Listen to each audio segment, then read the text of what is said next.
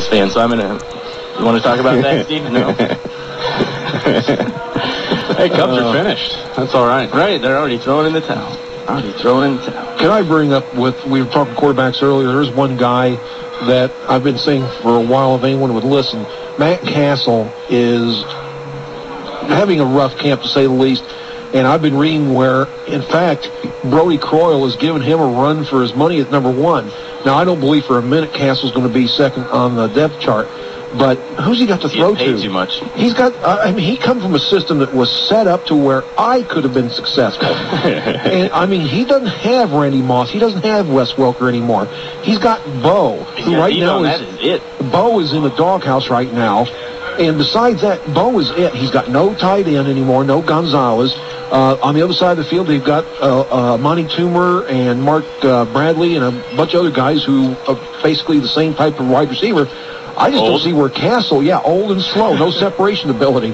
I just don't see where Cassel, why all this love for Cassel this year? I don't see it. He's just not going to be that successful. Right. Know, it's a, it's about the system too. You sure. Know, in New England, he was just running the system. He was basically doing whatever Tom Brady was supposed to do until he got hurt. And so Cassel went in there, threw the ball around as much as he could, and was successful. And it's just it's not going to be the same in Kansas City. We have another close. phone call. 529-1450 is the phone number. Good afternoon. What's on your mind? You're on the press box.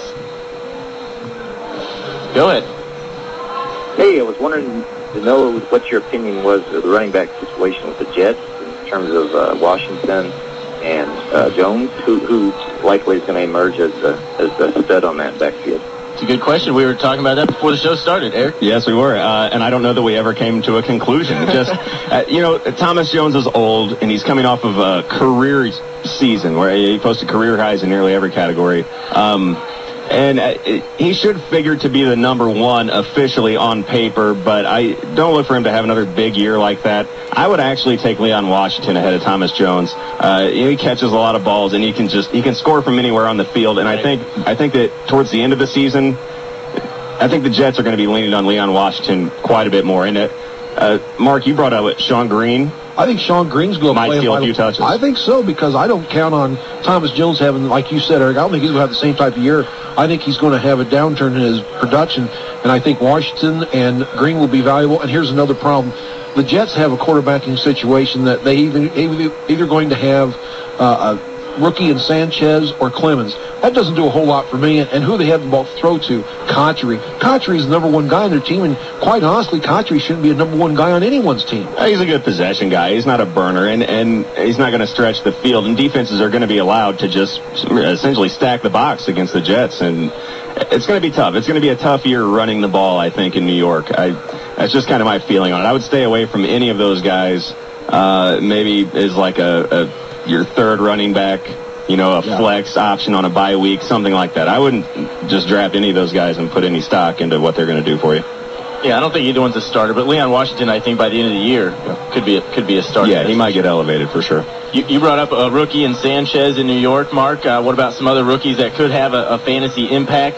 Uh, Matt Stafford in Detroit. I don't know if anyone wants to go out on that limb. Uh, Pat White might get some touches in Miami, but more more specifically, the wide receivers are going to have more of an impact. I think you can uh, look at a Percy Harvin in Minnesota, especially now with uh, Favre there, Maclin in Philly, uh, Crabtree to the Niners, and uh, Heyward-Bey to Oakland.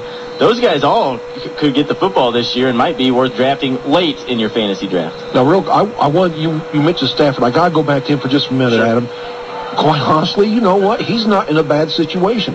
You've got uh, Calvin Johnson to throw to, Pettigrew, uh, the the young tight end, uh, Kevin Smith out of the backfield. Uh, I tell you what, I can see that team, and especially Stafford, putting up some fairly decent numbers. I, I wouldn't want him to start for my fantasy team, right. but I think that uh, he's got a chance to be successful on that team. Uh, there's never been a rookie quarterback that has really been worth plugging in as your starting quarterback in fantasy. Even Matt Ryan last year only finished with what 20 touchdowns, 21 touchdowns. That's hardly elite status. So uh, you really don't want to just plug in a rookie quarterback ever. And Matt Stafford, from what I've read, is actually coming close to overtaking the starting job and might even be the starter week one. But it still doesn't mean that uh, that he's going to bring you any you know any luck in your fantasy league. Plus, he's got to play the Bears twice and the Vikings twice. I mean, that's tough. Yeah, that's not going to be an easy schedule for him. And being a rookie. See, this is why that you've got to separate in football, the fantasy aspect of it, and just regular football. And a lot of people have a hard time doing that. They look at Pat, uh, at, at Ryan last year and saw, wow, Ryan had just a great job. Yeah, he did. But fantasy numbers wise, no. And who who do we always talk about for the you know years gone by? Aikman. Aikman was a wonderful quarterback for the Cowboys. Fantasy wise, stinkerooning. An excellent pitchman for Stetson Cologne. oh, absolutely. It's the Fantasy Football 101 preview show here at Sammy's on a Thursday afternoon. We're going to a break. We'll be back and take your calls here for the rest of the hour. More fantasy football talk, though, of course, after the 5 o'clock hour. we got plenty to talk about. We'll be back with more after these messages here on Sports Radio 1450. I'm Joe.